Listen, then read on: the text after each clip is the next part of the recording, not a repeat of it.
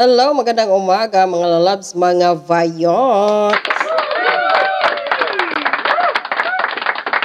Magandang hapon Pilipinas, magandang umaga tanghali hapon saan man sulok ng mundo. Mega mega love shoutout lalo na po sa mga kapwa ko OFWs around the world. Hello, hello, mega love shoutout po sa inyong lahat. No? So Diretso na po tayo sa ating topic ngayon sa nangyari kay Pangulong Bongbong Marcos na napahiya at ah, dahil pinahiya siya ng isang senador doon sa Australia nung nasa House of Representatives sila no? Habang nagsasalita si Pangulong Bongbong Marcos about sa parliament eh nag-rise po siya ng pla- ng banner o placard no? Ito si Pangulong Bongbong Marcos oh. So, yung mga tao, tingnan ninyo, walang kabuhay-buhay na nakikinig sa kanya. Yung iba dito, nagsiselfon, nagtawag dito. Basta hindi siya pinapakinggan habang siya nagsasalita. So, yung si Rice, uh, nag-rise din talaga siya ng kanyang placard. So, ito yung kanyang uh, ginawa din. O, yan. So, ang nakalagay po dito, stop the human rights abuses. Sino nasa likod nito? Mm, At hindi daw di umano, welcome si PBBM sa Australia.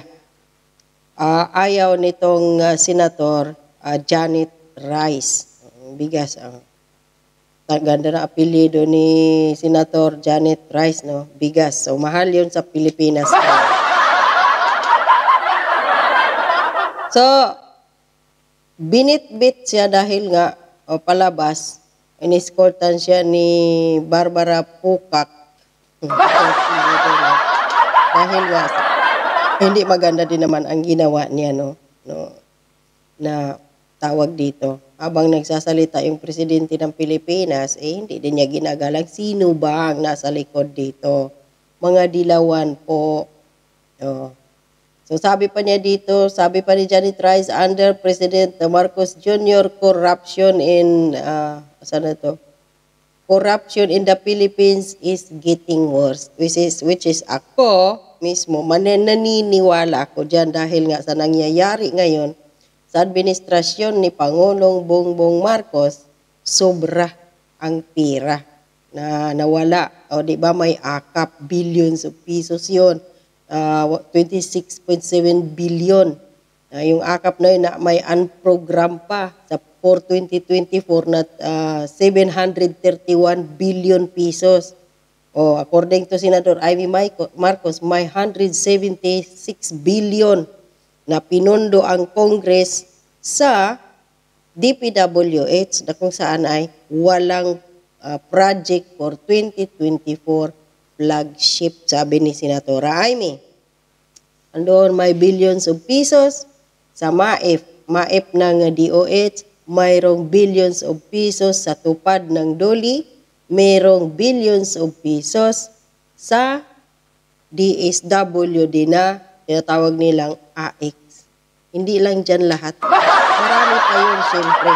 So, para sa akin, itong sinasabi ni Janet Rice dito na corruption under Marcos Jr. uh, is getting worse is palakpakan natin. Tugma dito. At sinasabi pa niya dito na uh, dito ako na nag-isip, no? Na itong sinasabi na there are hundreds of political prisoners and anti-terrorism laws are used as legal cover for EJK. O dito, napasok na sa aking pahak. Ang nasa likod nito, it comes to EJK, dilawan ang may nag ang nag-feed dito kay Janet Rice. Bakit? Mamaya 'yon. So, ang tanong, meron palang EJK ngayon sa administrasyon ni Pangulong Bongbong Marcos? So, pinahiya po si Pangulong Bongbong Marcos ng mga grupo ng makakaliwang grupong Dilawang Pink CPP na kung saan ay doon sila ngayon umanib. Maraming mga vloggers ngayon na nakipagsanib puwersa ng mga Marcos uh, Team Bangag vlogger sa mga dilawang pink CPP vloggers. Kalain mo ha, dating isa kong, uh, hindi ko, although masyado siyang kilala, or siya nga ang nag-message sa akin dati, si Takiro Miyamoto. Anong sabi niya doon? Eh, may post siya. Handa siyang or nakahanda siyang makipag-ayos sa mga dilawang vloggers. Lolonokin niya yung kanyang pride, yung, yung suka niya, dahil isinusuka niya yung dilawan, nakahanda daw siyang lunokin yon para lang labanan na wala ng Duterte na makabalik pa sa administ or sa gobyerno. Ano yan ngayon? Kayong mga Marcos Team Bangag Vloggers, nakipagsabuatan kayo sa mga uh, tawag dito, dilawan, tapos siniraan ninyo si, sino ba yung pinuo, punot dulo ng paninira kay, sa mga Duterte? Trobe Pisara, siyempre si Martin Romualdez. At may uh, bas-bas yan ni Pangulong Bongbong Marcos at ni Lisa. Di man yung gagawin ni Martin kung walang uh, bas-bas ni PBBM. So, pinagkaisahan po ng mag-insan, PBBM at uh, Martin Tambalos Los Crocodilos, si BP Sara, ang mga Duterte na, to be exact. Eh, tapos, si Martin pumunta doon sa kipagsabuatan sa makakaliwang grupong komunistang terorista na yan na Makabayan Black. Ano nangyari ngayon? Ito pa si Sandro, pinaburan pa. Si Franz Castro over kay Tatay Digong. Di po ba? So, anong nangyari ngayon? Papahiya na naman dito si Sandro.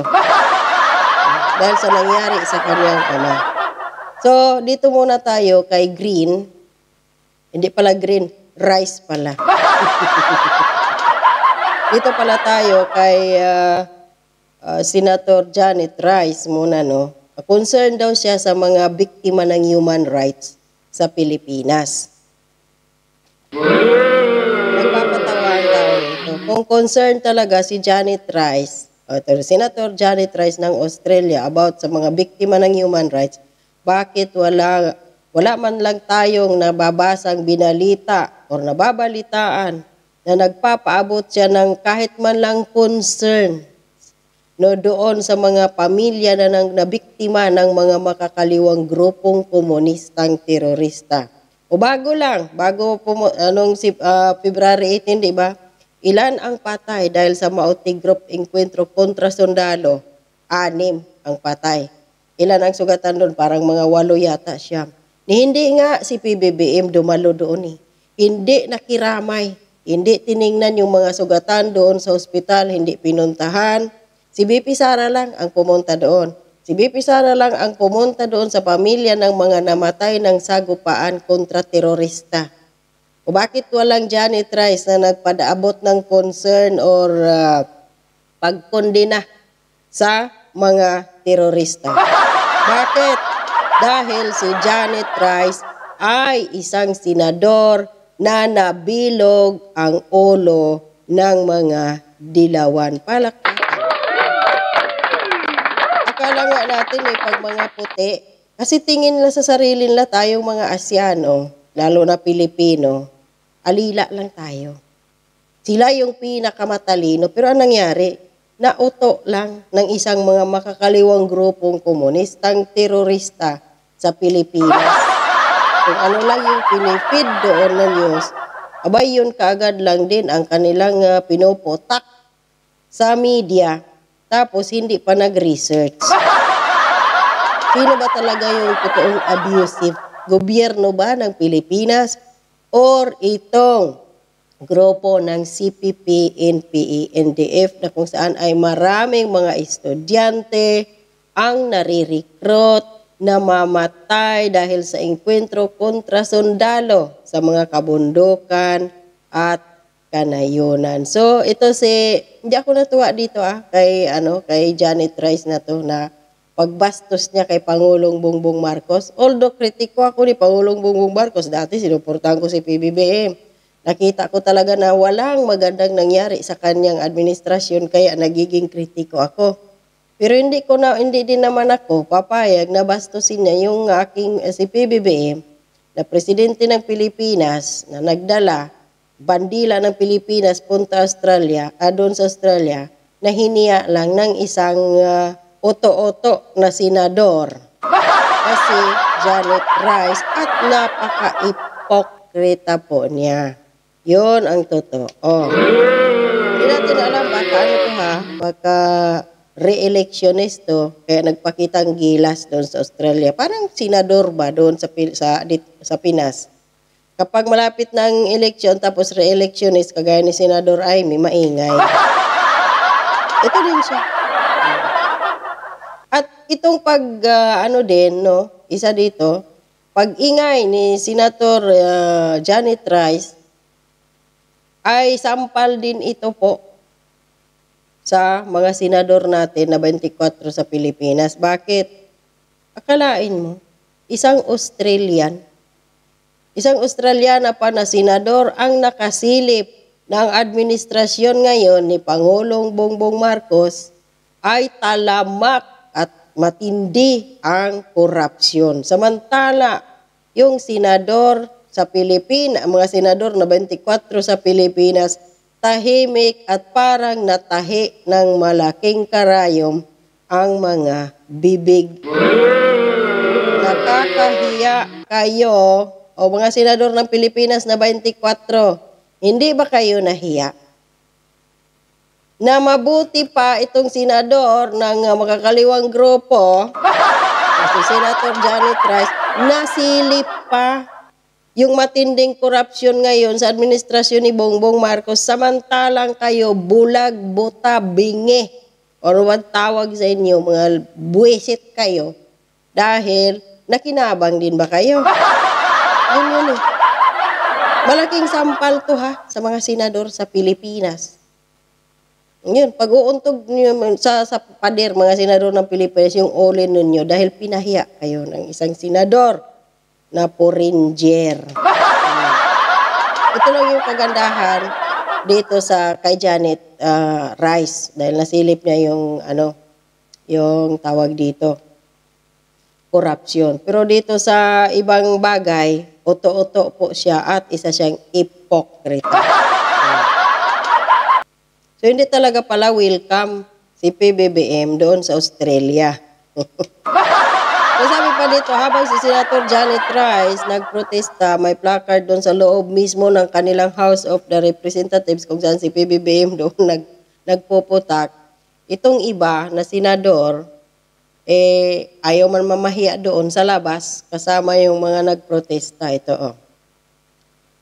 Ah, Sabi pa dito ni Senator uh, Hordon or George uh, Steele John, While President Marcos Jr. gives speech to the parliament today, I was proud to protest in solidarity while uh, with the Australian Filipino community uh, outside parliament. Yun yung tama.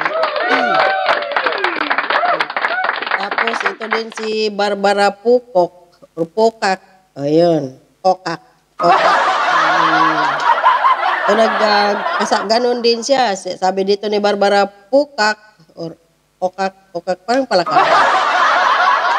The deep cruel legacy of the Marcos regimes, senior and junior, patay tayo dyan.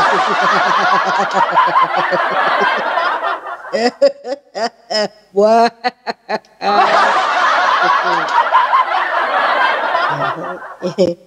eh, sisave ko to. Oh, the, the deep cruel down legacy of the Marcos uh, regime, senior and junior, have crushed community, peasant, women's trade union, and human rights activists. Ah, sabi na nga ba, mga makakaliwang group.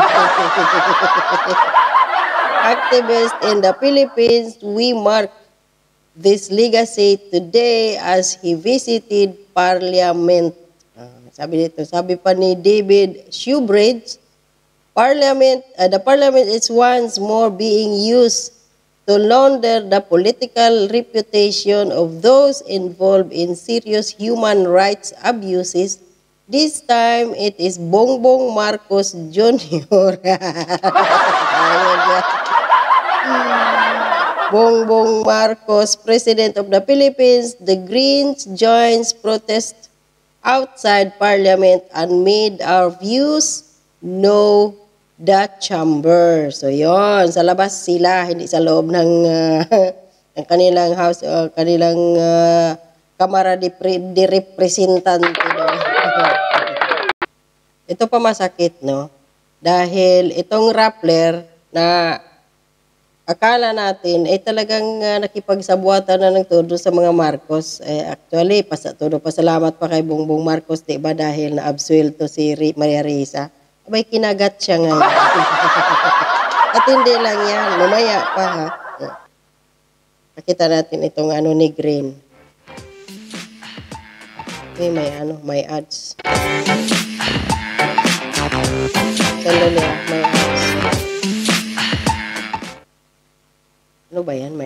I am proud in this parliament over the 10 years I've been here to be speaking up for the human rights of people across the world, whether it's the Philippines, whether it's Tibet, whether it's West Papua, whether it's Palestine, whether it's, and here in Australia. The action I took in the House today was deliberate and it was powerful. And I did it on behalf of every Filipino person Wow. whose human rights have been abused by the government of President Marcos and the government of President Duterte before him. I learnt and I heard firsthand about what is going on in the Philippines, where I learnt about the extrajudicial killings, where people on trumped up charges are red tagged and then they are hunted down and they are killed, where human rights lawyers are shot at point blank range as they are driving through the streets, where workers, because they have the temerity to engage in fighting for their rights, are killed. Where environmental defenders, because they have the temerity to be fighting for justice for their community, fighting for their rivers not to be polluted, fighting for their lands not to be taken from them, they also are killed. I am struck by I'm having a sense of motion moved against me for abusing parliamentary rights when human rights did not rate a mention. When both the Prime Minister and the Leader of the Opposition, in their speeches today, did not mention human rights at all. They are completely whitewashing, sycophantic towards the President. Human rights matter and they matter for every person Kaya pala siya galit dahil nga nung nagsasalita si Pangulong Bongbong Marcos, hindi daw na-mention yung human rights. Bakit pa i-mention ni Pangulong Bongbong Marcos yung human rights? Eh, yung simpatya naman kasi ng human rights sa Pilipinas sa mga makakaliwang grupong komunistang terorista.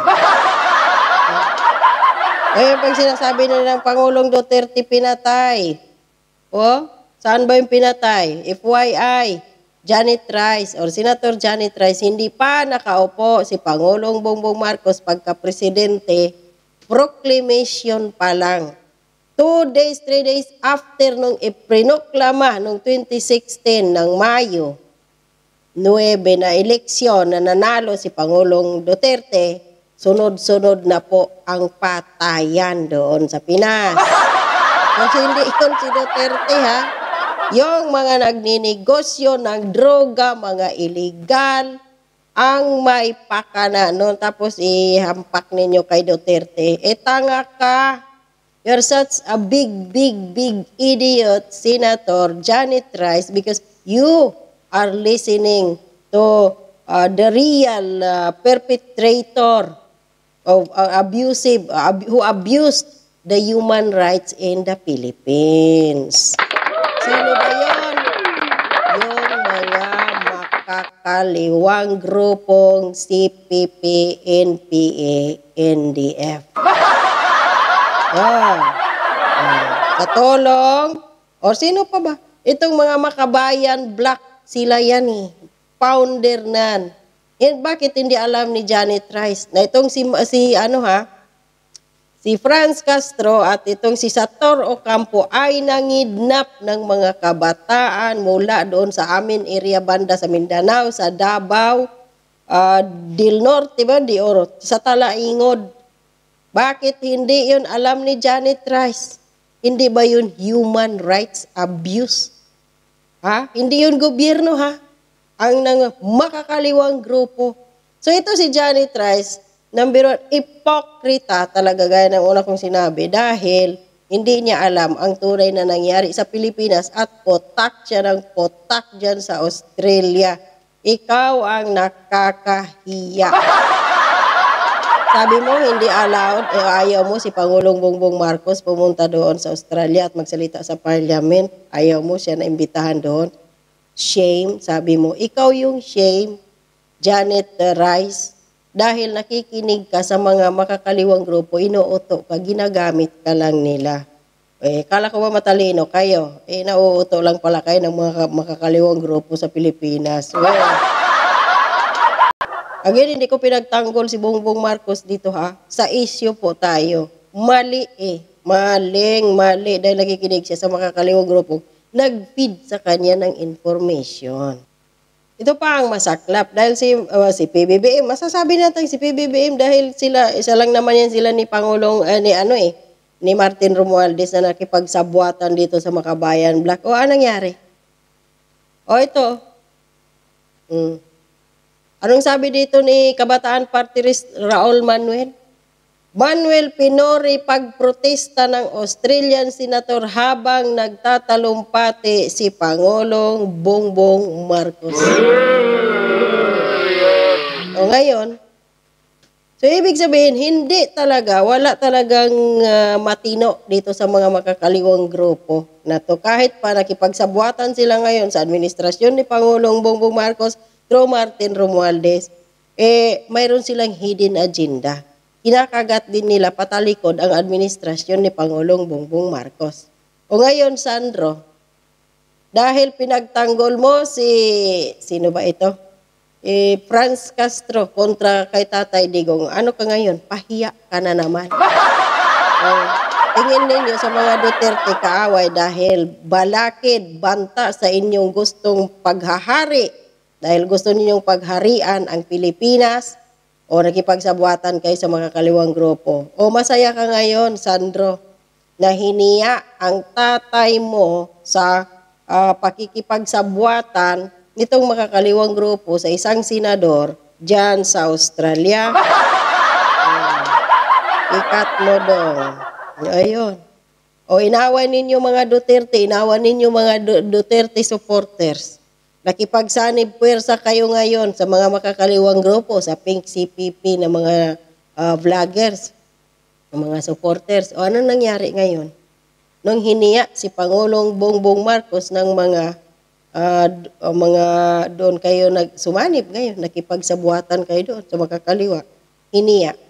Mm. Buti nga sa inyo. Ano ang masasabi ko? Kasi wala eh. Nagabaan kayo ng mga Duterte. Doon sa mga timbangag vloggers na nakipagsabwatan, hindi, bahala na daw. Lunokin nila yung kanilang pride, makipagsabwatan sa mga dilawan. No? Para lang hindi makabalik si Sara Duterte uh, o mawala ng Duterte sa gobyerno ulit. O anong nangyari ngayon? Si Pangulong Bongbong Marcos ninyo, pinahiya ng mga makakaliwang grupo. Ah, nakakan. Magsama kayo. Puro mga uh, bangag at mga gahaman. Kayo yon. Hanggang dito lang po. Maraming salamat. Stay safe po. God bless and bye-bye.